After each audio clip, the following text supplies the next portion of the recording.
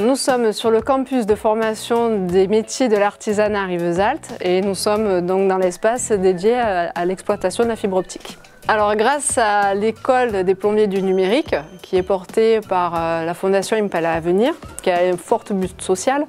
euh, nous apprenons le déploiement de la fibre optique à travers la ville, donc à partir d'un central, euh, comme ça pouvait exister sur la téléphonie,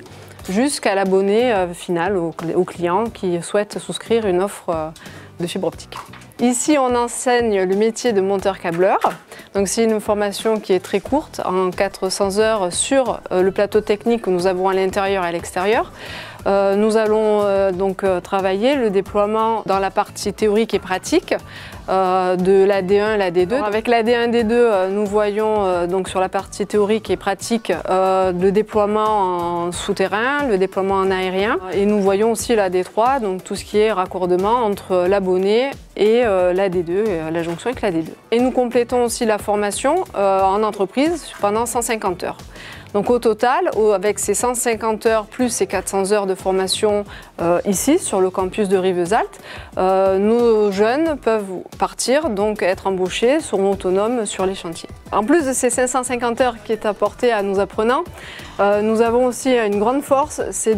qu'ils soient habilités à travailler et sur la, en voirie avec la IPR et au niveau domaine électrique avec l'UH0, B0 et le KSS Nacelle qui leur permettra de pouvoir être dans tous les postes, que ce soit autant dans la D1 que la D2 ou la D3. Quel que soit le profil de nos stagiaires, en 4 mois, ils sont formés en tant que raccordeurs euh, monteurs à fibre optique et euh, nous avons un taux d'insertion qui avoisine les 80%. Ce qui me motive tous les jours de venir travailler, c'est de savoir que je vais pouvoir, avec euh, l'équipe qui est en train de se former, avec ben, ce qui étaient des candidats qui deviennent des monteurs accordeurs, une équipe et les accompagner vers l'emploi. Voilà, c'est